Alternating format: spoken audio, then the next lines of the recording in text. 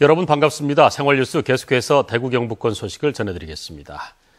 오늘 대구 경북은 아침 최저 기온은 대구 영하 3.2도를 비롯해 구미 영하 4.9, 안동 영하 7도 등으로 어제보다 3, 4도가량 떨어졌습니다. 하지만 낮 최고 기온은 대구와 구미 6도, 안동 4도 등으로 어제와 비슷하겠습니다. 대구 기상대는 주말인 내일과 휴일인 모레는 대체로 맑은 가운데 대구의 낮 기온이 13도까지 오르는 등 대부분 지역이 10도를 넘어 포근하다가 모레 밤부터 비가 내리기 시작해 월요일까지 이어지겠습니다. 상주 지역 최대 수건 사업인 낙동 공군 사격장 이전이 머지않아 실현될 가능성이 있습니다. 국방부가 최근 공군 사격장 이전에 원칙적으로 합의한 것으로 알려졌습니다. 이정희 기자가 보도합니다. 낙동강을 따라 드넓게 펼쳐진 평야지대, 전투기 사격 훈련장으로 쓰이고 있는 국방부 소유 공군 사격장입니다. 현재 이 공군 사격장의 규모는 800만 제곱미터.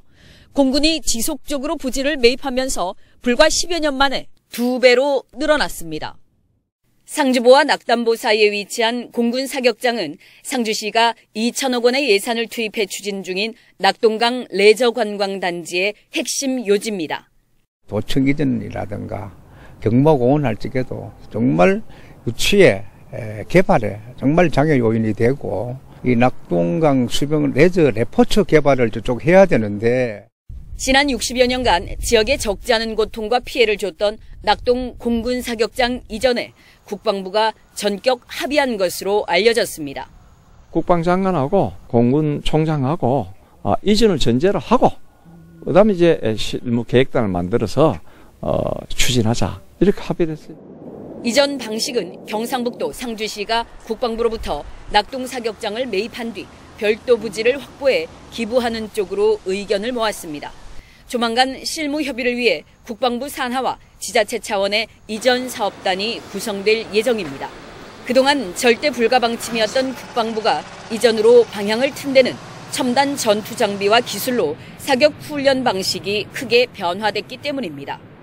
하강에서 사격하던 것이 지금 한 백리 후방에서 포탄을 떨어뜨리고 비행기 갑니다. 굳이 평지 도심 주변에서 사격 훈련할 필요가 없다.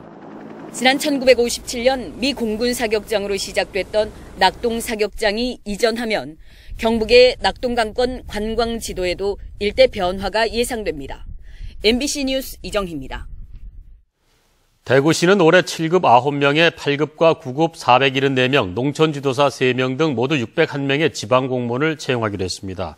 이 가운데 고용 여건이 열악한 사회적 약자에게 공직 진출 기회를 주기 위해 장애인은 10개 직렬에 36명, 저소득층은 22명을 채용하고 경력 단절 여성과 기술계 고등학교 졸업자도 일부 뽑기로 했습니다.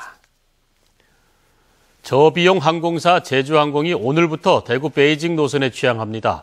월수 금요일 주 3회 대구 국제공항에서 밤 10시 20분에 출발해 현지 시각 새벽 1시에 도착하고 귀국 항공편은 현지 시각 화목 토요일 새벽 2시 15분에 베이징 서우두 국제공항을 출발해 새벽 5시 10분 대구 국제공항에 도착합니다.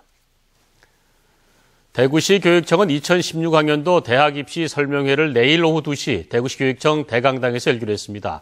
설명회에서는 2015학년도 대입 합격 학생 4명이 나와 수시 전형 사례를 발표하고 질의응답으로 예비 고3 학생들의 수험 준비를 도와줍니다. 또 진학 지도 교사와 대입 담당 장학사가 수시와 정시 등 어떤 유형이 개개인에게 적합한지 입시 전반에 대한 설명을 합니다. 경산의 모 대학에 따르면 A 교수가 지난달 25일 밤 중국 호텔방에서 학생들과 술을 마시다가 여학생에게 성희롱 발언을 하며 신체 접촉을 시도했고 이를 말리던 남학생의 뺨을 때렸다는 주장이 제기됐습니다. 또 호텔 복도에서 소란을 피워 현지 경찰까지 출동한 것으로 알려졌습니다. 대학 측은 A 교수가 당시 상황이 기억나지 않는다며 사직서를 제출했지만 사직서를 수리하지 않고 징계위원회를 열어 징계할 방침이라고 밝혔습니다. 경상북도는 설 명절을 앞두고 구제역 확산에 따라 폐쇄했던 도내 14개 가축시장 가운데 4곳을 임시 개장했습니다. 구미 가축시장은 지난 2일에 이어 오는 17일, 문경은 지난 8일에 이어 오늘 임시 개장합니다. MBC 생활뉴스 마치겠습니다. 함께해 주신 여러분 고맙습니다.